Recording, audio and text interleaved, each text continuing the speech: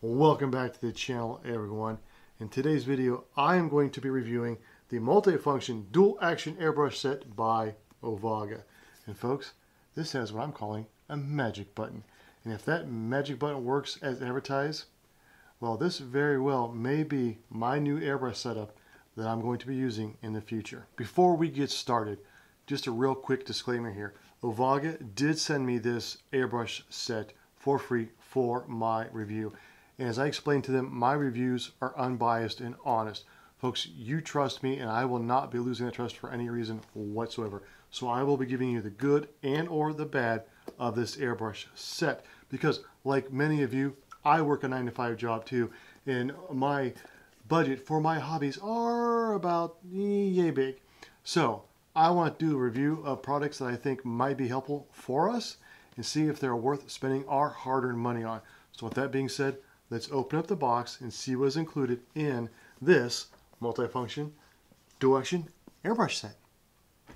I also want to mention just one more thing before we get into this box and take a look about what uh, comes in this kit. And that is, if you're anything like me, you skip around videos, you don't watch the whole video, you find the parts you want and you keep on going and you go on to the next video, which is fine. Do that with this video. Find what you want to learn about, check it out, and move on. But if you are interested in checking out this product, if you're interested in purchasing this product especially, make sure you at least skip to the end of this video. At the end of this video, I'm going to tell you how you can get this product at a pretty substantial discount. Okay, let's open her up and see what all is included. All right, first off, we are greeted with an instruction manual. Next up is the air compressor itself nice weighty little unit. And you'll notice there are two buttons on here. Well, folks, this is the on and off button, and this is what I'm calling the magic button. See there's three little dots here? These are three little lights. This portable airbrush compressor has three different air pressure settings. It has a low, a medium, and a high. And according to the instructions, has 20 psi up to 32 psi. Doesn't say what the center one is. I'm hazarding a guess here that it's probably right around 26 psi. And folks, this is what I'm calling the magic button. And if this works the way I'm hoping it works, will be the reason why I'll be using this air compressor more often than any other air compressors that I have. Next up, let's see what's in uh, this little box. Okay, looks like we have our metal paint cup and what appears to be an airbrush holder. I have a feeling that probably attaches to the air compressor itself. What else is in here? Oh, nice. We have two more uh, larger paint cups that we can use. On to our large box, which I am sure is holding the airbrush itself. Let's see what all is in here. All right, well, here is our air hose. And it feels like a, almost like a silicone material. That's different.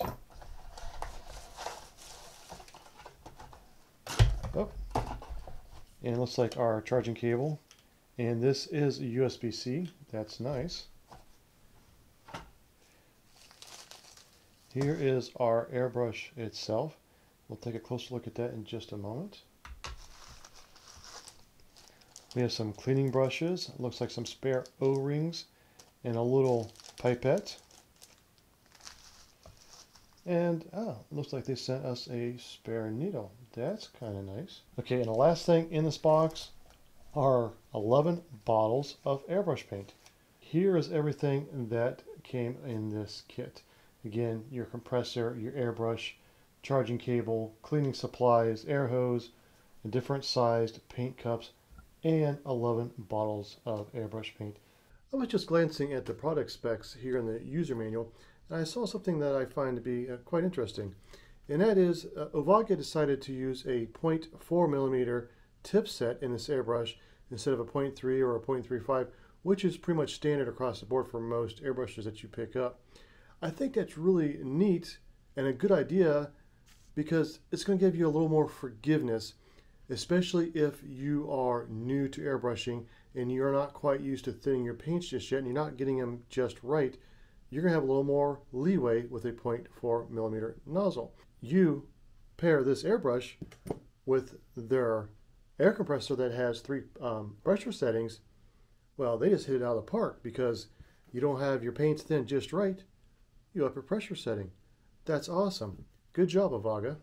Let's start off by taking a closer look uh, at the outside of this airbrush. First off, I may have mentioned it has some heft to it. It's got a little bit of weight to it. I actually have one of my uh, higher end airbrushes up here with me. It's uh, this brand right here. And uh, it actually, this one weighs more than the higher end one. They're pretty close, but it's got a little more heft to it. I like that personally. It doesn't feel chintzy. I like to feel that I have something in my hand when I'm airbrushing. So that is very nice. The body of this is nicely chromed out. It's, it's very slick, no burrs. And one thing I did notice that may not be a big deal for most people, but it's a pet peeve of mine. I have several entry level airbrushes, and on every one of them, just turning them upside down, the paint cap falls off. This one doesn't. Ovaga took the time to put the proper O-ring on the paint cup to make sure that it seals and fits properly. Thank you. That is very nice. Now, speaking of the paint cup itself, if you can see inside the paint cup here, you'll notice that it is nice and polished. It's very clean, very shiny. That's going to help with two things. One, paint flow, and two, ease of clean. Another nice little touch that they did is keeping that cleaned up. On to the rest of the airbrush here. On the handle here, you have what is called a preset knob. Well, this is a preset handle actually. And what that does, if you're new to airbrushing, is let's say you're spraying 100 widgets and you finally find that perfect spray pattern with the mixture of paint you're using. And let's say that spray pattern is almost three quarters of the way back. So you hold your trigger back and you turn this knob until the knob touches that trigger and gets a little push against it right there. And from that point forward, that trigger stops at that same exact location so you're going to have the same exact spray pattern. That is a real nice feature on this airbrush. Let's begin this disassembly by removing the paint cup.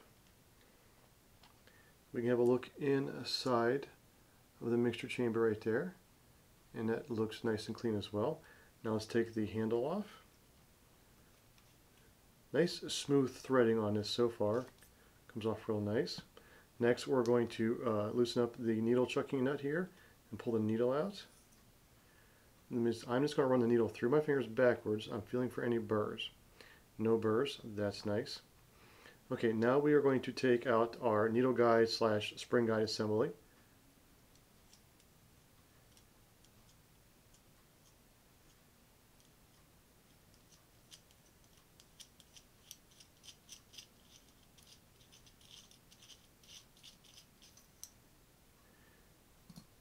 and our trigger.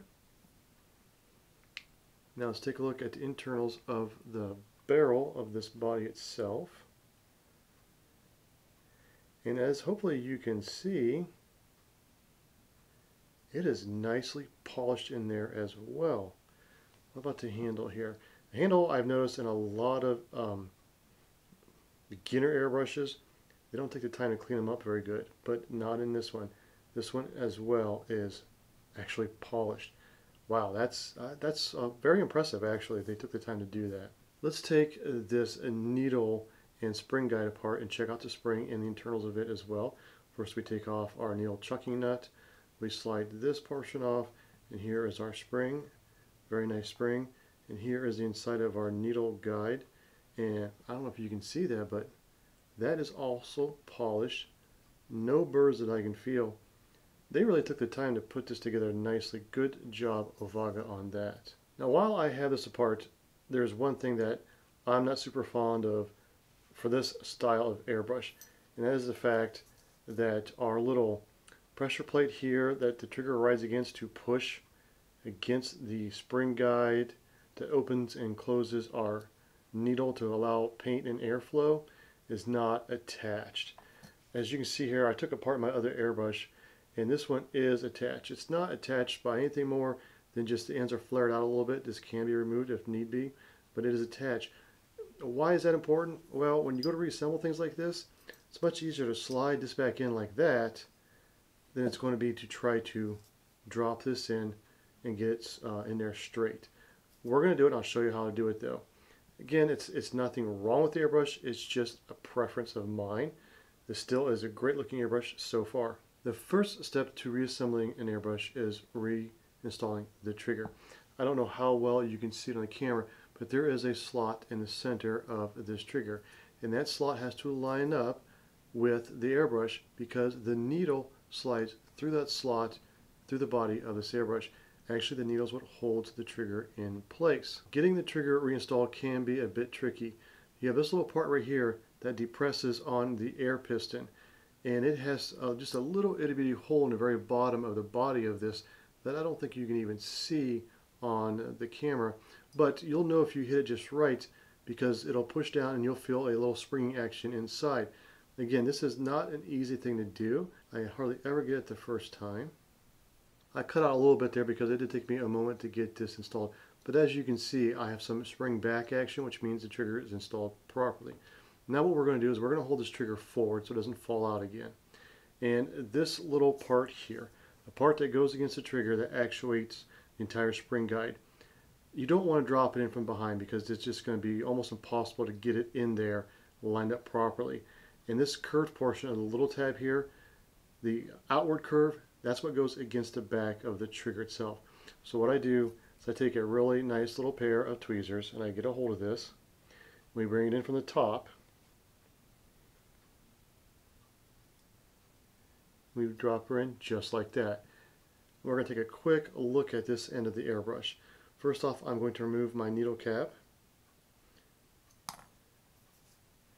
And again, it's nicely polished. Now we're going to remove our nozzle cap. And our fluid nozzle fell out. Okay, this appears to be the style that the fluid nozzle is just pressed in. Some of them actually are screwed in, some are pressed in like this. It's just held in place by the uh, fluid nozzle. Again, everything seems to be nice and clean, no burrs, nice and polished. I'm impressed, folks. I'm not going to lie about that. But as they say, the proof is in the pudding. When we get this to working, then we'll see if all this prettiness actually works as well as it looks. On to the star of this kit, and that is the air compressor itself.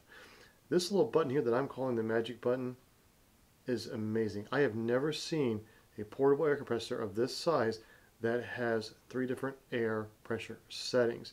You have 11 different colors of airbrush paint. Now these are branded by Ovaga. I'm not sure if they are the manufacturer or not.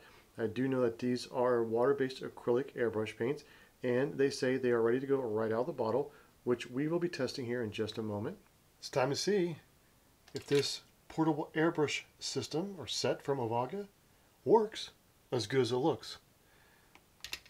I'm going to use this green paint that came with this set. Normally, I would filter my paints, and I talk about that on almost every video that I shoot about how important it is to filter your paints. However, since this paint came with this set, now I know it was not sold specifically as a ready to go out of the box set. It doesn't say anything like that. It's just, you know, an accessory to this set. You get some free paints. But I'm thinking, you know, if I'm a new person airbrushing and I buy this set, I may not realize that I have to thin the paint. I may not realize that I should filter the paints. I'm just going to pour it in and go.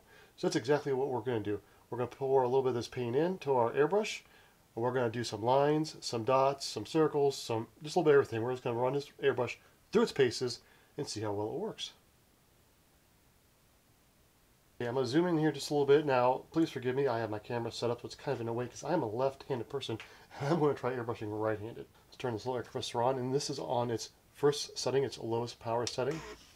Those are pretty small dots. And again, this is a 0.4 millimeter nozzle, so as you can see, you can get still real fine little dots. I'm going to switch hands here and try to go left-handed.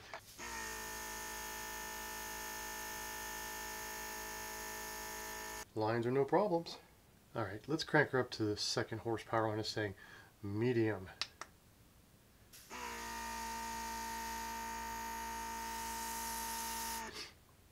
And now high. Oh, big difference.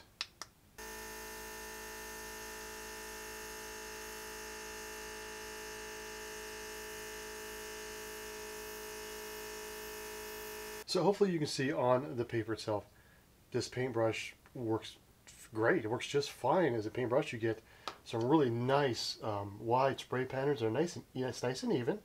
Now, other than this, I was going really slow here. That's why we had some runs. Nothing to do with the airbrush. That was me. But, you know, you get really nice, small, tight dots, small um, lines. I mean, it, it works like an airbrush should work. It does not work like a cheap piece of junk. It works like a really nice airbrush. One thing I do want to check out, though, is I want to test these paints. I have a spare gondola from one of my 3D printing jobs. And let's throw some paint on it and see how well these paints will work on a plastic model.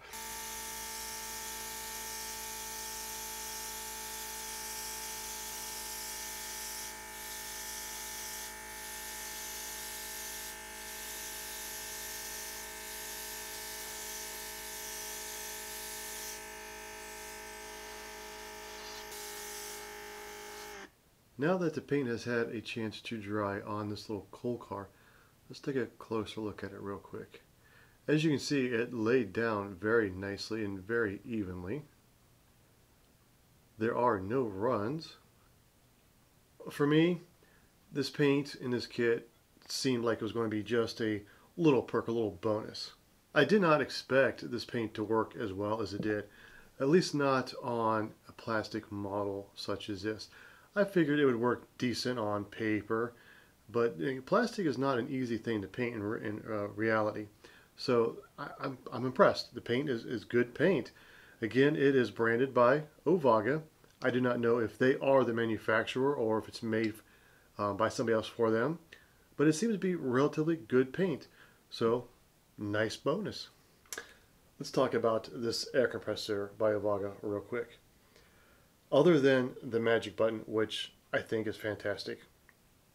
I like the form factor, how they made this. I didn't show it earlier, I forgot, but this actually has little rubber feet on the bottom because this is made to sit on your table or workspace flat like a regular little air compressor would sit and it dampens the vibration very well. When I was painting, I was talking and this was running and I was talking in a normal voice and it was not terribly loud and that helps out quite a bit. I like this style of air compressor much better than this style. Now, if you've been looking on Amazon for a portable air compressor, you've probably seen hundreds of this style of air compressor and airbrush setup shown for sale. I bought this a long time ago. I did a review on it. It was decent. I bought it for the air compressor. The airbrush is, eh, eh, but the air compressor is well, was pretty daggone good. But again, it only has one pressure setting. And as you can see, hopefully, the stinking paint cap just fell off the top, as I talked about earlier in the video. Anyhow, I don't like this style because it's sold to be used like this. The airbrush attaches to the compressor. Now, you can attach a hose in between, which I do. Number one, I don't like this because it's kind of heavy and it's kind of not, I mean, it's not terribly bad, but it's not super fine controllable holding this honking thing in your hand. And it vibrates. Who wants to be painting with something in their hand that's vibrating? I don't. So I always attach an air hose to this. Well, guess what? This has no rubber feet. This has not this kind of form factor. This is made to be held, not meant to be sat down. So guess what it does when I have it sitting down on the table? It vibrates like crazy, it dances around the table, and it makes a heck of a noise. So, no bueno. This Heck yeah. Love it. Now, the uh, star of the show for me, though, I mean, I was really thinking this was going to be it, and I kind of was in love with this little magic button, but this airbrush, this thing is over the top impressive. Don't hate me, but this is my $200 Iwata HPCS. This is almost as good, if not as good, as this. And I am not kidding the fit and finish on this airbrush, it just amazed me.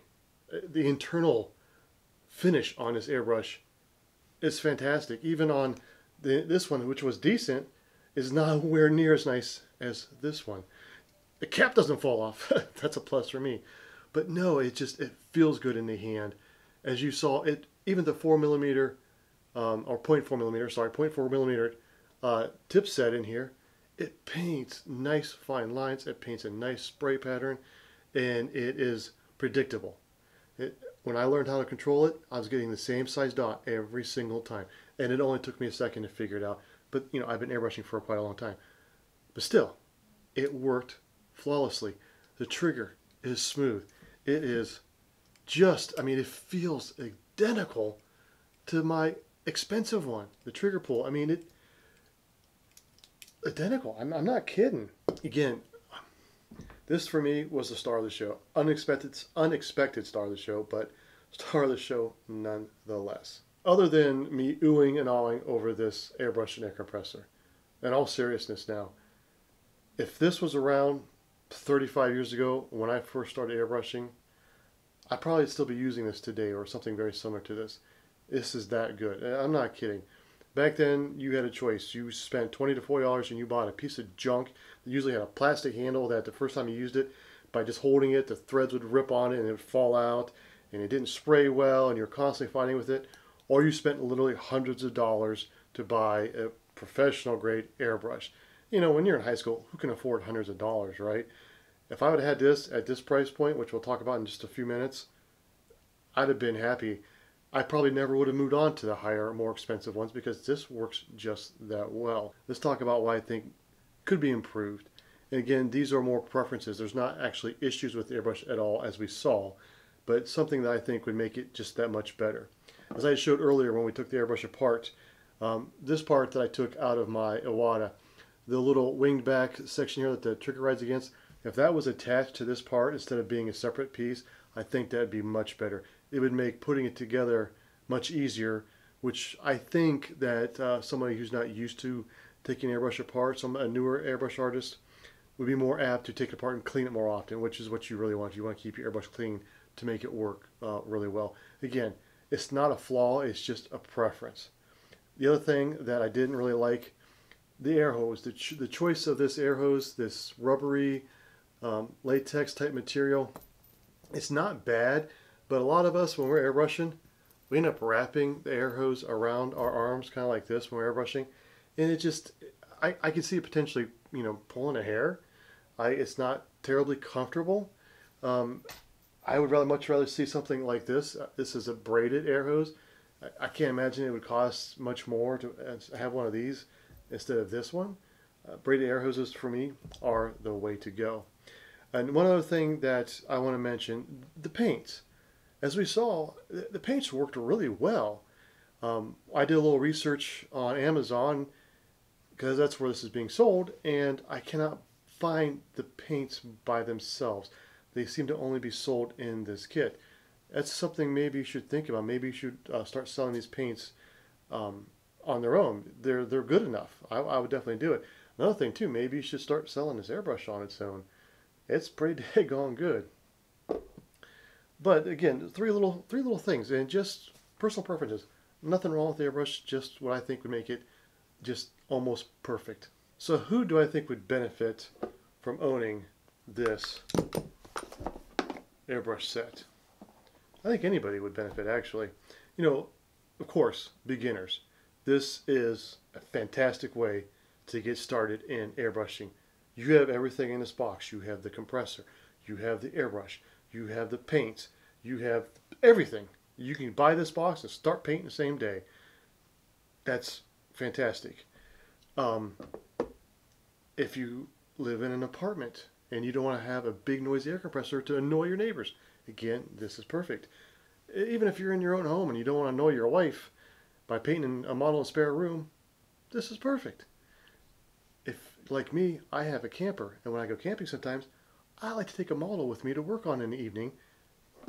This is perfect for that as well. I think anybody could find a good reason to own a portable airbrush set such as this. You know, the other one that I reviewed months ago, I really liked it. It was really good.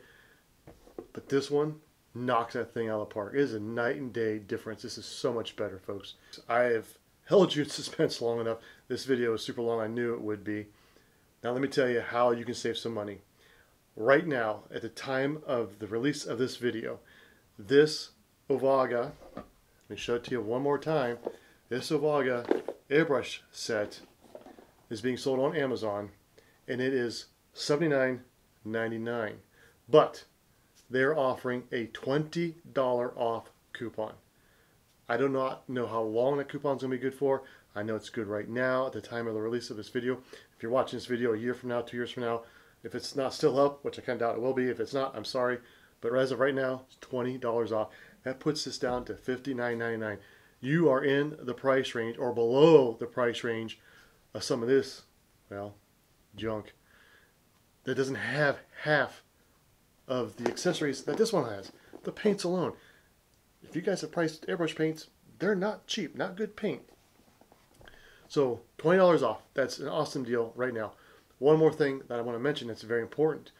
They told me when I was speaking with them about doing this video that they offer a one year warranty from the date of purchase against any manufacturer defects.